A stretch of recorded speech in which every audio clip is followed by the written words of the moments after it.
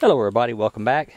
This is Kevin with SurvivalistBoards.com. Today we're working on plugging this hole right here on the fence. And what will happen is sometimes the chickens will jump up on here and then jump out. As you see, the bottom of it's all screened in and the chickens cannot get through, grown chicken can't get through those bottom bottom slots. What they can do is jump up here, then jump I've got this old section of cattle panel here. Now I've measured it out, something like 13 inches with a two inch overhang right here. You can see it's got uh, about a, I measured it, that's a two inch overhang right there. Two inch overhang right there. And 13 inch, I needs to be 13 inches from here to here.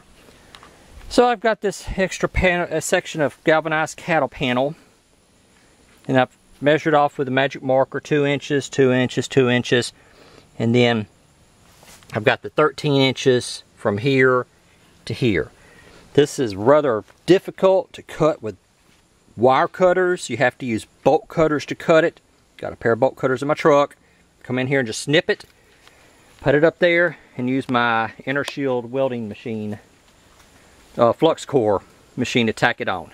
My wife and I put the one of our new leghorn roosters in there with the other flock and they're doing the pecking order. They're kind of picking on him a little bit. He's, how old is he? Four months old? Four or five. Four and a half, I think. Okay. Four and a half months old. So he's only a couple of weeks from crowing. His hormones are starting to kick in. We had two roosters over in the other chicken yard. This is the big chicken yard that, that we built. The smaller one we built last year whenever we moved to the farm. This rooster and the other one was in there and they were starting to fight. So it was, um, moved one of the roosters over here, had more room, left the other rooster over there. Now the hens are kind of picking on him, but that's just the way chickens are. He's just going to have to deal with it.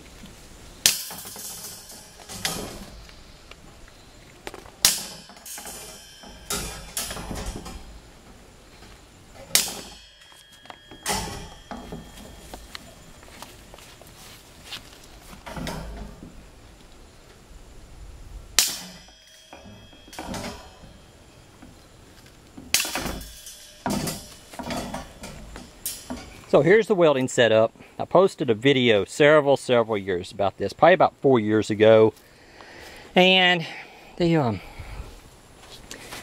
using a Tecumseh motor on a Coleman PowerMate 7200 for the power supply.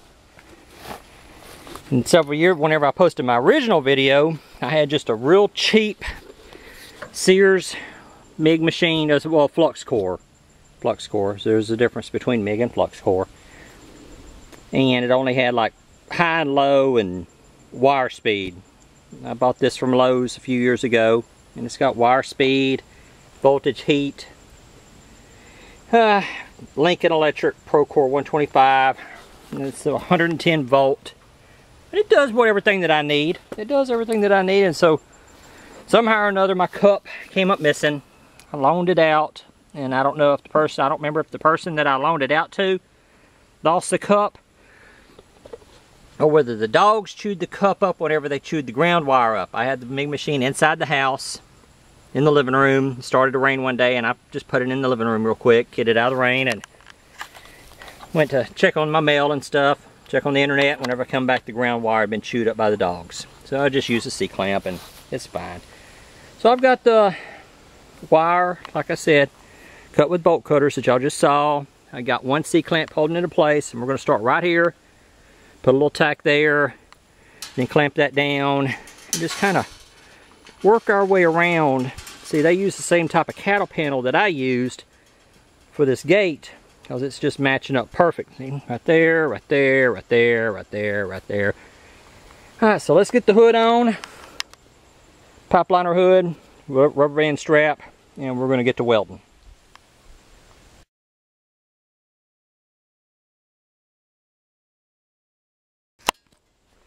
So here we go.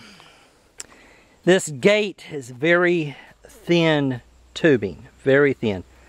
So whenever you're welding on something that's thin, between thin and thick, carry your heat on the thick part, then just kind of wash it over to the thin part.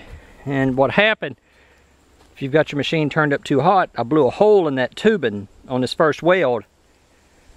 Then you just kind of zip, let it cool, zip, let it cool, zip, let it cool, zip, let it cool, zip, let till you finally get the whole uh, filled in. Turn my machine down to the lowest voltage setting and almost to the lowest wire speed. One, I think it'll go a little bit lower.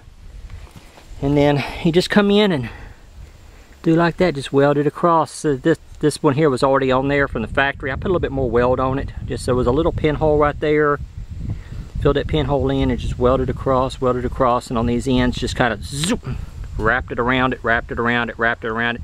And with this flux core and MIG, you always weld downhill, never weld uphill.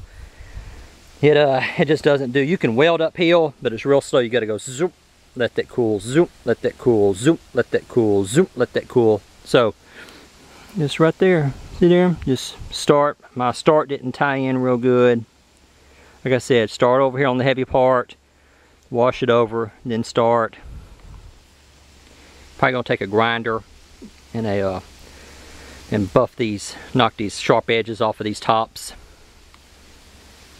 but anyway there we go that's it I come through and came through and put a little half inch to one inch weld on every vertical tacked every horizontal and did a little downhill bead.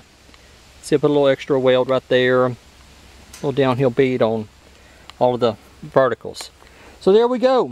No more chickens jumping up on that. I tack welded the latch. There we go. No more chickens jumping up on there. All right, guys and gals, that's it. Now, after this one, I've got that gate fixed up. I've got to repair this gate over here. That gate there was given to me.